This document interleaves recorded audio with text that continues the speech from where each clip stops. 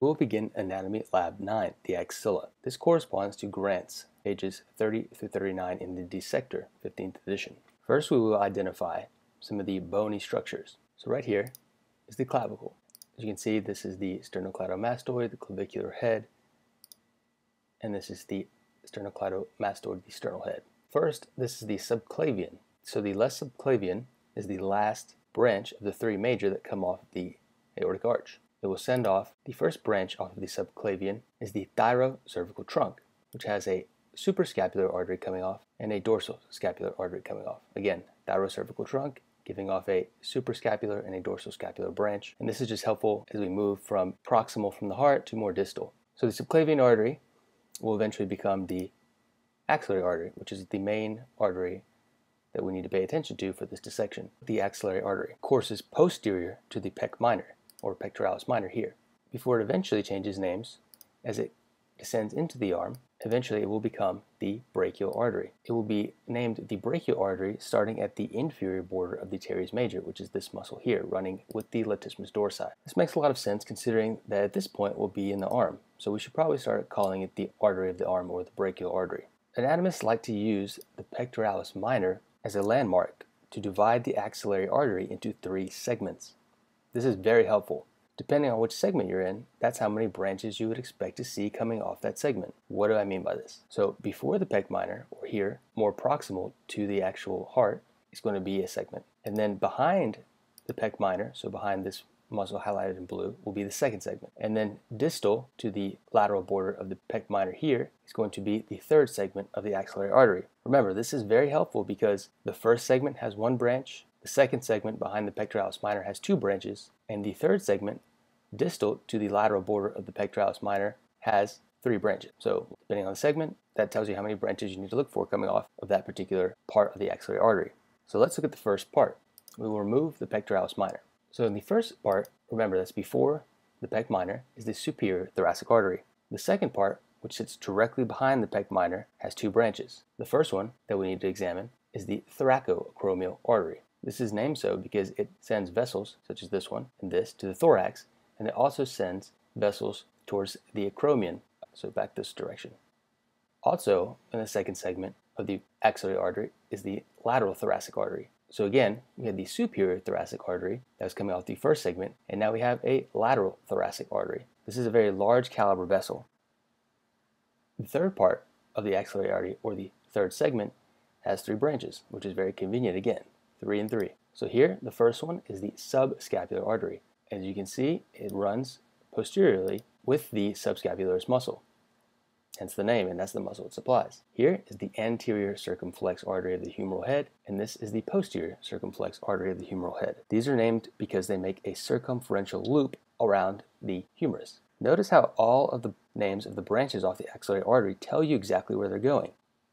We start back with the superior thoracic coming off the first segment. It's going to supply the superior thorax. The thoracoacromial artery has branches that go towards the thorax and towards the acromion. There are four branches total. The first one here is the clavicular branch. It runs directly above the first rib, which is here, and below the clavicle. That's a great way to remember this clavicular branch. There's also a pectoral branch, which supplies the pectoral muscles, a deltoid branch that obviously supplies the deltoid region, and an acromial branch.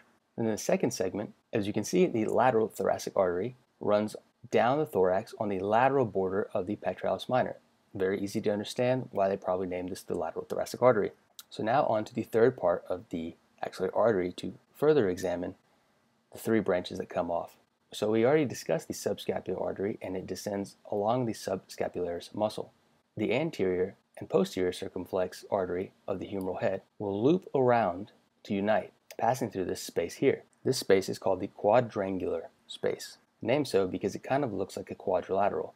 This is a very high yield space because the posterior circumflex artery of the humeral head will come off the axillary and pass backward with the axillary nerve through this quadrangular space.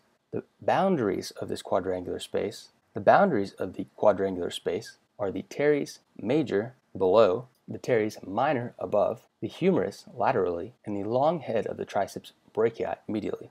The anterior circumflex artery of the humeral head will meet up with the posterior circumflex artery of the humeral head, But first, it must pass deep to the coracobrachialis and biceps brachii to run directly on top of the humerus. You can see, it is hugging the humerus very tightly here. All right, we will resume with the anatomy lab, the axilla. We've covered the blood supply. Now let's move on to the more complex arrangement of the brachial plexus. This is a classic favorite. It will absolutely show up on your exams and step one. Particularly a lot of the palsies like Erb Duchenne palsy that are associated with shoulder dystocia in birth. So the brachial plexus is just a plexus of nerves formed by the anterior rami that leave the vertebral column above the transverse processes. So here we have rotate our image. For example, here, this is C8. You can see the many roots coming together and forming one ventral nerve root right above the first thoracic vertebra. It's important to note that there's a transition here. And when I mean transition, I mean that the vertebra that corresponds to the nerve root will switch when we transition from the cervical spine to the thoracic spine. And this is just a way that it was named. So here is C7, and you can see here above C7, right above is the ventral spinal ramus of the seventh cervical root. On the other hand, we see here that the first thoracic vertebra is now going to have the first thoracic ventral spinal ramus coming out below it. So again, here's T1, the first thoracic vertebra, and here is the ventral spinal ramus that is forming T1. So that's very high yield. Got to know that. C7 or more superior in the spinal column, you expect the root to come out above the transverse process of the corresponding vertebra. When we transition from cervical to thoracic spine, it's going to switch when you'll have the corresponding ramus coming out below whichever thoracic vertebra we're talking about. And it will continue that way the rest of the spine. So the classic mnemonic for memorizing the organization of the brachial plexus into roots, trunks, divisions, cords, and branches is Randy Travis drinks cold beer. Let's begin with Randy, or the roots, at the most superior root, which is C5. Here is C5. It is coming out above the C5 cervical vertebra. Before we move on to the next trunk, we can see that there is a branch coming off of C5. The dorsal scapular nerve, it is a very high yield nerve because it is one of the few that comes off of a root. So this dorsal scapular nerve is named so because it obviously travels here on the dorsal surface of the scapula. It innervates the rhomboids that would be sitting in this area here. Also coming off C5 with some contribution from C6 is the suprascapular nerve. This is the suprascapular nerve, and as we can see, it is named so because of the course that it will take. The suprascapular nerve runs directly over the surface of the serratus anterior, and it is named because it runs through the suprascapular notch here of the scapula. In addition, it also runs on the dorsal surface of the scapula after it passes through the notch. It is going to supply the muscle in this region in addition to the muscle here. So it will be supplying the supraspinatus sending also a branch here after it passes through the suprascapular notch to innervate the infraspinatus. I left some of these other nerves on here to highlight them, for example. Here we have the phrenic nerve. Remember it is composed of C3, C4, C5, so there are branches coming off of C5. Next up is the long thoracic nerve. It is also coming off of C5, but what is unique is that it has contributions from not only C5 and C6, but also C7. So C5, C6, and C7 form the long thoracic nerve. We can see that the long thoracic nerve courses down on the surface of the serratus anterior, which is very convenient because this is the muscle that innervates. And classic lesion to the long thoracic nerve results in a winged scapula because the serratus anterior is responsible for keeping the scapula along the thoracic posterior wall. Okay, great. Now remember, we're still talking about the roots. Remember that C5 and C6 come together to form a trunk. And this is a common theme for the rest of the brachial plexus, where the 8th cervical ventral spinal ramus, or C8, will be joined by T1, which is the first thoracic ventral spinal ramus. So here, you see a C8 and T1 come together to form the lower trunk of the brachial plexus. What is very unique is that C7 continues by itself to form the middle trunk of the brachial plexus. So quick review, C5, C6 come together and make the upper trunk. Off of C5, we have the dorsal scapular nerve. Off of C5, with contributions from C6 and C7, we have the long thoracic nerve. C7 continues by itself to make the middle trunk. C8 and T1 come together to make the lower trunk. In addition, there's another nerve, not shown, from the upper trunk called the nerve to the subclavius muscle. Obviously, this innervates the subclavius. I'm going to share with you a concept that made my life a lot easier when I finally learned it. All of the trunks divide into anterior and posterior divisions.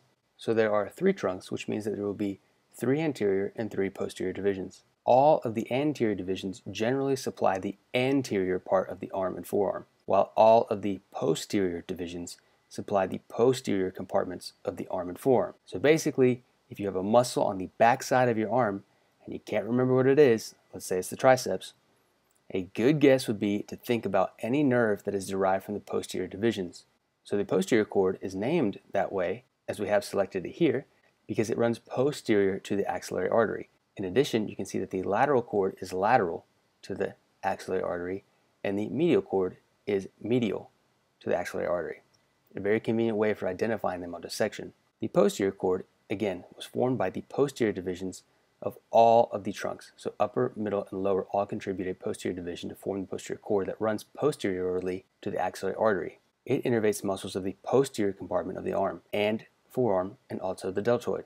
A mnemonic for the branches of the posterior cord is ultra, U-L-T-R-A. So let's examine the contributions to this mnemonic. So again, the posterior cord is formed by the posterior divisions of all of the trunks. So the upper, middle, and lower trunk all contribute and break off an anterior and posterior division. They all send their only posterior division to create the posterior cord. It is very convenient. Once again, the posterior cord is posterior to the axillary artery. It is formed by all the posterior division, and it controls the innervation to the posterior compartment of the arm and forearm.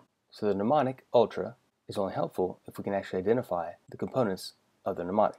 So let's examine the subscapular nerves first. The U is for the upper or superior subscapular nerve. The T, the T is for the thoracodorsal nerve. This is also called the middle subscapular nerve. The lower subscapular nerve should be running in this orientation here, as I'm drawing with the mouse cursor, but for some reason it is not shown on this model. All of these nerves derive their name because they're running on the, on the undersurface of the scapula. Therefore, subscapular was the way that they were named. So again, there's three. Upper, middle, also called the thoracodorsal, and the lower. They supply the subscapularis muscle and the teres major. The thoracodorsal nerve is very high yield because it is at very high risk for injury in mastectomy. The thoracodorsal nerve passes along the lateral border of the subscapularis muscle. So the subscapularis muscle will be sitting here on the scapula, and the thoracodorsal nerve will be descending here. Notice how subscapular artery and the lateral thoracic artery are also in this region. So the thoracodorsal nerve will be running along with the subscapular and thoracodorsal or lateral thoracic artery. Now let's fill in the rest of our mnemonic. So again, we have the posterior cord highlighted here in blue. The R in our mnemonic is for radial. The radial nerve is a direct continuation of the posterior cord of the brachial plexus. As you can see, the blue highlighted posterior cord will continue and become the radial nerve. The radial nerve will pass through the quadrangular space. It's difficult to visualize, but if we flip around to the posterior side, we can much more easily visualize how the posterior cord will continue and become the radial nerve here. And remember that the radial nerve provides innervation to the skin and muscles of the posterior compartment of the arm. That is why the radial nerve going to give off a branch called the posterior cutaneous nerve of the arm see how the radial artery is continuing to descend here closer and closer to the humerus where it will join the arteria profundi brachii and run in the radial groove of the humerus. That is why mid-shaft humeral fractures are very dangerous because they can compromise an arterial supply by severing the arteria profundi brachii and also causing some neurological damage by damaging the radial nerve. Now we will continue by viewing the terminal branch of the posterior cord, which is the axillary nerve. I have put up the diagram as a reference point. It is very important that you refer to it in order to understand the arrangement of the nerves. The axillary nerve is going to pass through the quadrangular space with the posterior circumflex humeral artery. Now the axillary nerve is important because it innervates the deltoid and it will give off a very very small posterior branch that will lead to the creation of the upper lateral cutaneous nerve of the arm. And that makes a lot of sense because it innervates the upper lateral aspect of the skin directly above the deltoid. Now let's move on to things formed by the anterior divisions. So the lateral cord is lateral to the axillary artery that has been removed. It is formed by the anterior divisions of the upper and middle trunks. Again, refer to the diagram if you're confused. The super high yield nerve to examine is the lateral pectoral nerve. It supplies the pec major, which will be sitting here on the thoracic wall, but has been removed so that you can see the lateral pectoral nerve. It's very important to understand that the lateral pectoral nerve on the thoracic wall is going to actually be medial to the other pectoral nerve which is the medial pectoral nerve selected here in blue. They are named based on where they are derived from, not where they are on the thoracic wall. This is a great way for test examiners to trick you. The medial pectoral nerve is lateral on the thoracic wall, but it is called medial because it is derived from the medial cord of the brachial plexus. Musculocutaneous nerve is the terminal branch of the lateral cord. So just like the posterior cord had a terminal branch that was the axillary nerve, the lateral cord has a terminal branch that is the musculocutaneous. The musculocutaneous nerve actually travels directly through the coracobrachialis and then between the biceps brachii and the brachialis. So we can see it was coming, it's piercing through the coracobrachialis here, and then it's coursing above the brachialis, and it, the biceps brachii was removed to visualize this musculocutaneous nerve the musculocutaneous nerve will terminate to become the lateral cutaneous nerve of the forearm. The name is musculocutaneous for a reason. It has a muscular component. It innervates all of the muscles of the anterior arm and then becomes a cutaneous nerve that takes control of our sensation on the lateral aspect of our forearm. The lateral cord terminated as the musculocutaneous nerve. It continues with a contribution from the medial cord to form the median nerve. This is very, very important. Let's say that one more time. The median nerve is derived from a contribution from the medial cord and the lateral cord. We will talk about this nerve a lot later. So the last cord that we need to discuss is the medial cord. There's a very high yield medial pectoral nerve that comes off the medial cord here. Remember, it is named the medial pectoral nerve because of its origin on the medial cord. There are two very high yield, because they are often overlooked, branches off of the medial cord, the medial cutaneous nerve of the arm, and this provides cutaneous sensation to the medial aspect of the arm. And then more distally, we have the medial cutaneous nerve of the forearm. This makes a lot of sense because the medial cutaneous nerve of the forearm innervates a more distal aspect of the upper extremity, so therefore you would expect it to branch more distally off of the brachial plexus. Now here this is the ulnar nerve, and it's going to descend medial to the brachial artery down the upper extremity. The ulnar nerve is a continuation of the medial cord. This nerve is going to be huge when we discuss the hand because it innervates all the muscles except the abductor pollicis brevis, the flexor pollicis brevis, and the lateral two lumbricals. These are all innervated by the median nerve.